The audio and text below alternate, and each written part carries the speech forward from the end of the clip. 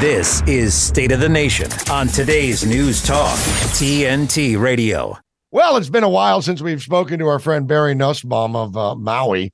Beautiful Hawaii. It's also been a while since any real national news coverage concerning the residents of Lahaina uh, has been pursued. So we figured, you know what? Their plight is still very real, very much in the air as lawyers, politicians, and developers sharpen their knives like vultures uh, and they've descended on this once paradise on earth, Lahaina. Barry, welcome to the show. Um, so good to have you. Uh, American Truth, uh, Truth Project, by the way, is a website that you can find Barry's writings on AmericanTruthProject.org. Barry, again, welcome to State of the Nation. Thanks for joining us today, buddy. How are you? Aloha. Aloha back at you. It's great to be back with you on today, December 8th. We are exactly four months from the fire today. Yeah, yeah exactly. it, it is a, a sad anniversary of sorts. It was back in August, four months ago today, uh, that we witnessed what see i mean it was i mean it was just the the fire was horrendous the the speed with which it destroyed lahaina was crazy and uh, then of course all the problems started for for the residents the fire was bad enough but after the fire as I mentioned, developers swooped into town, lawyers swooped into town, federal officials, local officials. What's going on in Lahaina today? What's happening there?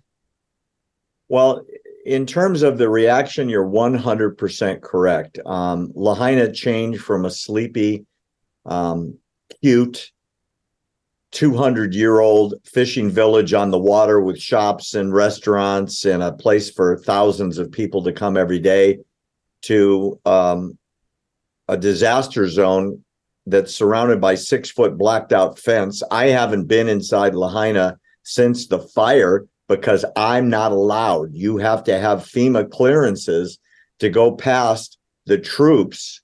And I'm talking about troops in guard uniforms, National Guard with their big Humvees that are blocking off every entrance. Um, there's probably more lawyers Not a joke. Yeah. In Lahaina now than residents. I mean, every litigation firm in the country is here. They're on Facebook, Instagram. I get a mailer every day. I get instant messages on my text alerts. Do you want to sign up? We're going to recover money from you. And and I think honestly the big occurrence that has caused these attorney firms to salivate and move here and to associate with local firms all goes back to the mistakes that were made the day of August 8th. Nobody's owned them. They're still there and they are in 50 foot letters in front of the attorneys that are salivating.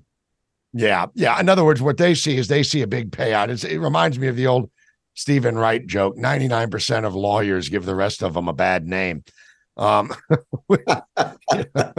uh, but th- yeah, th- th- they've seen the writing on the wall. They've seen that, hey, you know what? I don't know the name of the power company out there in Maui. Um, I'm sure it's a state run. I don't know if it's state run, state funded, whatever. It's called it HECO, Hawaiian Electric Company. HECO. Oh, HECO. So these lawyers have seen that HECO is probably going to be on the hook for this. And I'm sure there's loads. I guess class action lawsuits are being filed as fast as uh as fast as these folks can can fill out the forms, huh? Well, let me let me tell you why. And and I'm giving you a, an outsider's view. Obviously, we're not in a court of law. It's two guys chatting about it. Sure. A couple days after the fire, there was a press conference. The CEO of HECO stood next to the mayor and said on the air, live in front of a press conference, we made the decision not to turn the power off after the fire started.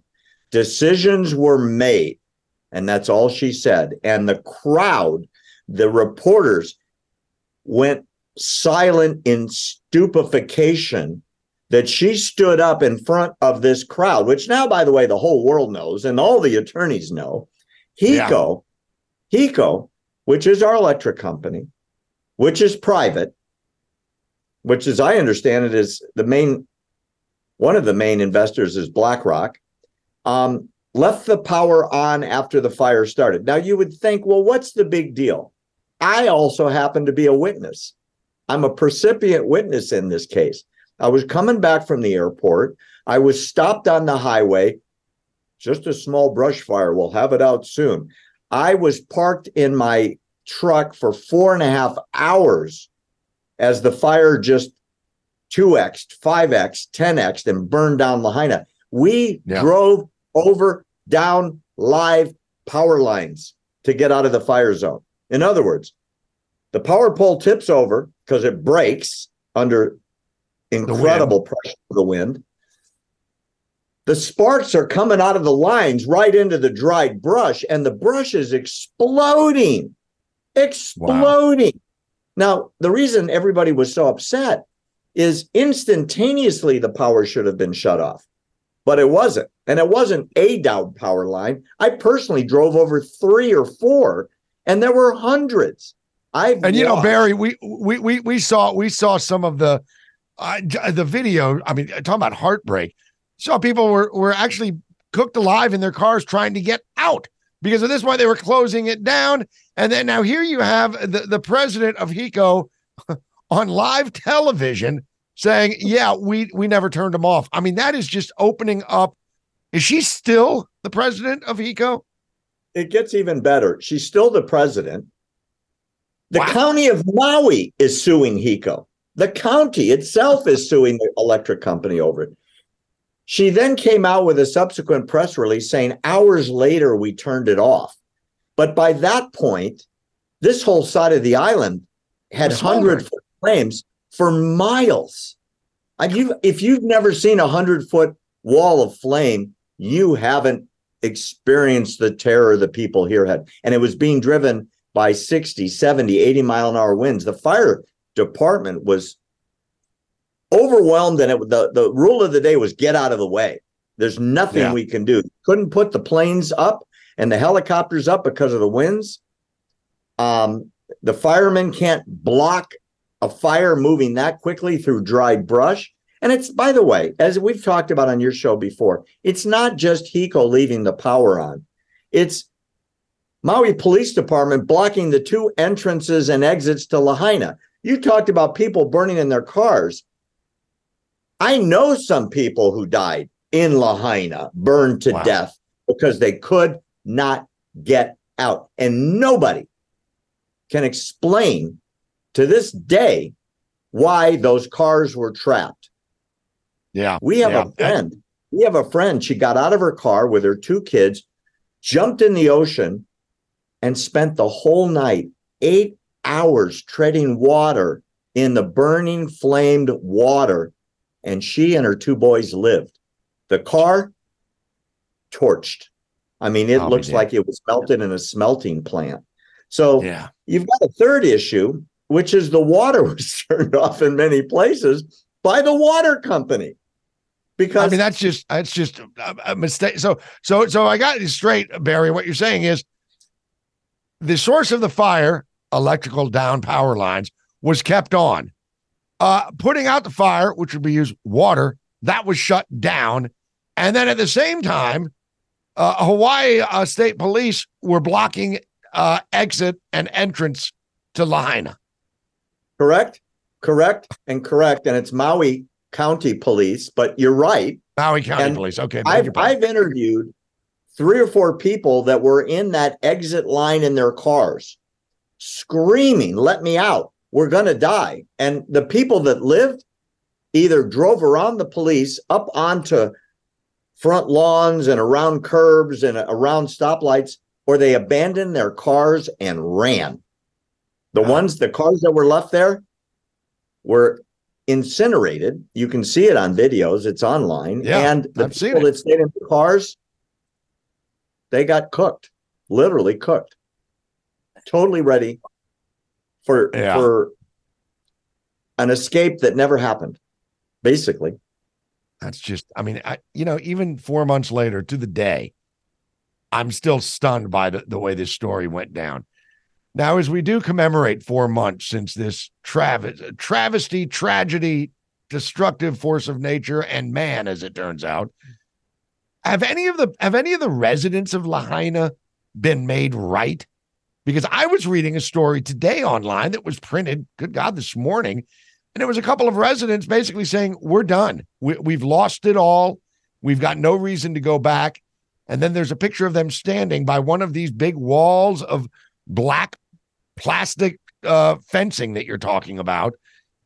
And it's just it, the picture is is is really kind of heartbreaking because they're just looking at this vast wasteland of just a plot of dirt where Lahaina used to be, and they're like, "We're not going back." Have has anybody well, been made right? Well, obviously, no. Um, thousands have left the island because there's there's three problems. You can't go back to your home that doesn't exist or it's condemned and you can't go back. Number two, your ability to rebuild your home, the rumors and the, we call it the coconut wireless, everybody talking to everybody after they talk to someone in, in authority. They're talking three, four, five years for permits. And and the third issue is where do you live in the meantime? Yeah. Lahaina, especially side of the island, has a monster housing shortage. Now there's 2,000 homes missing. Those people are living in hotels. This economy is driven 99% by tourism and in related industries. So the tourists are coming back for Christmas. Nobody knows where to put these people that have been dispossessed. Some are living in camps, some are living on the beach, some are sleeping on the golf course. I'm not talking about people that were homeless. I'm talking about people that were homed that yeah. now that now don't know where they're going to live. And it's an incredibly sad situation. Um, the the amount of aid that's going out is de minimis. There's you can get up to eight hundred dollars from the Oprah Fund. Most people get turned down. Uh, the vast majority of people that have applied for SBA loans have been turned down. Um, the various programs through FEMA are hit and miss. It's it's a disaster that is so horrific. The president was here. He mumbled some remarks. He dozed off during the people's responses to his remarks. That's not a joke. You can look at the video. I saw it. Yep. I know a lady that was sitting 10 feet from him and she said he was out. Now, the White House said he was thinking. Whatever. Poor yeah. Jean Pierre. I mean, I, she's got the worst job in the world trying to explain what happened today and what happened yesterday. And she's got she's got the worst job in the world, and she's the worst person for the worst job. Oh yeah, I was going to say, and she's not very good at it. I, I just to, to make uh, insult to injury. So yeah, all the aid that that President Biden promised when he was here uh, basically didn't materialize. I mean, his whole route from the airport was uh, a lot of FJB signs and why are you here signs.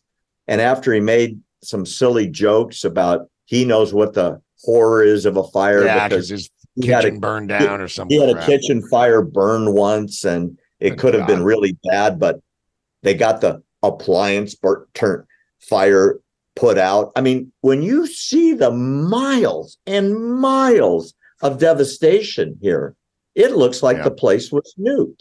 And well, Barry, I, I, just want to, I, I just want to, uh, because we don't have much time left. But one of the things that I remember we were concerned about, we have to get your answer in about 30 seconds here, was that rich developers and celebrity types trying to buy up all this land. Does any truth come from that? There are in signs everywhere. 30 second signs, sorry, 30 signs everywhere saying we are not for sale. And there are laws that emergency ordinances that have been in place that are preventing rapid transfers of property. Go. Whether Very it happens or not, I don't know. Well, I thank you. We're going to follow up with you. American Truth, uh, Truthproject.org. Barry Nussbaum, God bless you, sir. Aloha. Thank you for joining us today. We'll talk to you again real soon. Take care. Aloha. Good to be with you. All right. All right, that's going to do it for State of the Nation today. I will be back on Monday. Have a wonderful weekend. We'll see you next time on TNT Radio. Goodbye.